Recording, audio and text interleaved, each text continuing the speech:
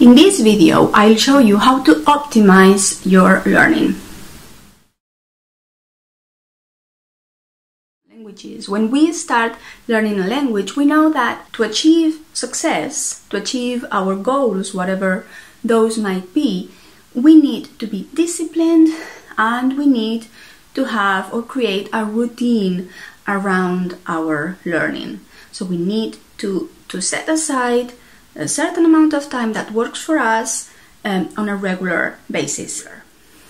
Now, what I see and what we tend to forget is that we also need to prepare ourselves for the learning. Very often I see, and I have been guilty of this um, myself as well, I go from one task to another in this case from one task from maybe working or um, cooking or whatever into learning without any clear transition.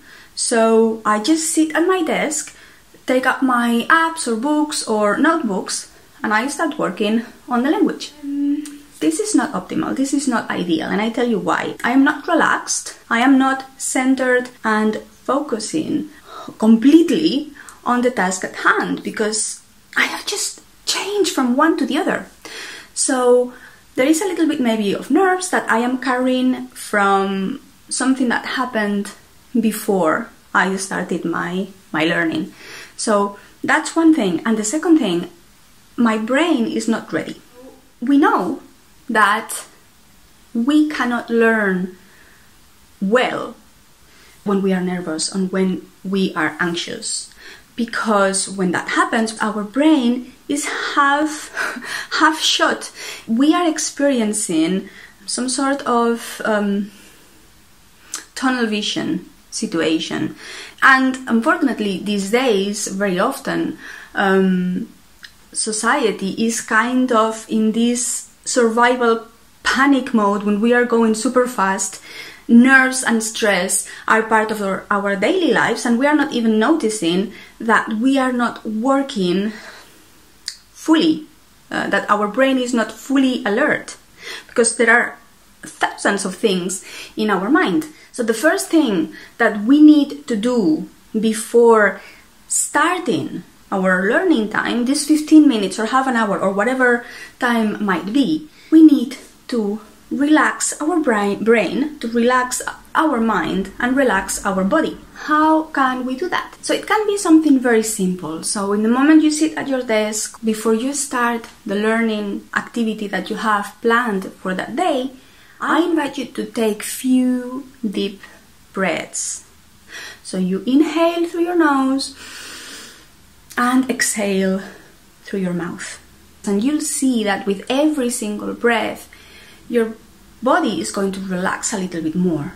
If you're still not completely relaxed, I invite you to meditate. That's something that I have been doing for a while and I see how it is a very powerful way of initiating a learning activity.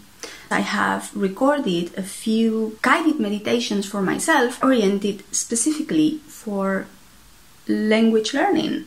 At the same time that I am relaxing my mind and my body, I am also bringing some attention to my brain and telling the message that we are going to be doing languages and bringing some positive emotion to, to that language learning. That calm your brain, calm your mind, calm your body so you can be fully alert. And how can you make your brain to be fully alert?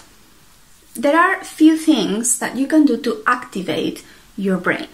This is the HERVAT method that I find is really, really powerful and it works very well. So I'm going to share with you the six steps. The first thing, drink some water, hydrate yourself. The second thing is breathing. You can just do a couple of deep breaths and continue with the third step that is to do balance exercises.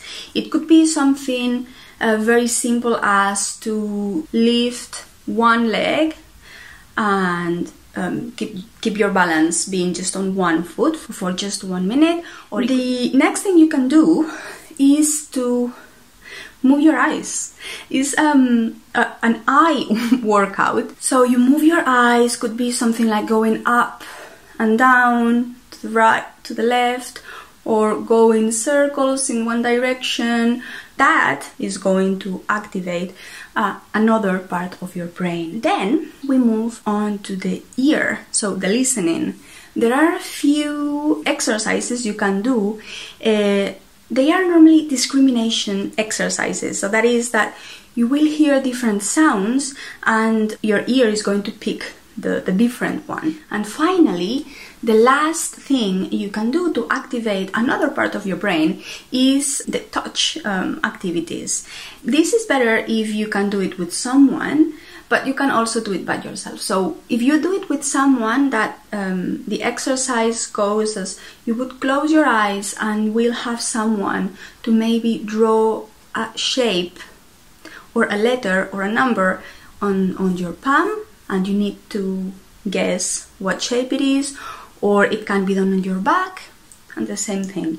If you don't have anybody to do this activity, you can still focus on your touch on the on your fingertips and do the same thing. Draw shapes on the on, on your palm and then just without looking, just follow the shape.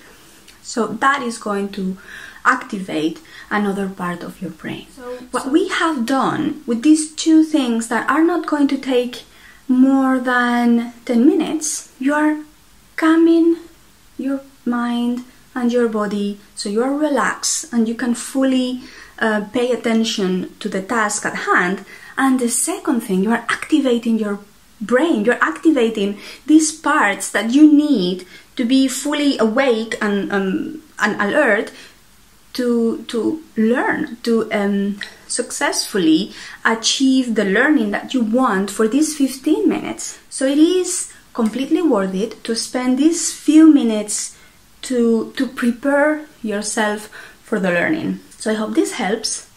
Um, share with me if if you try or if you have done something similar um, how it goes. I look forward to know.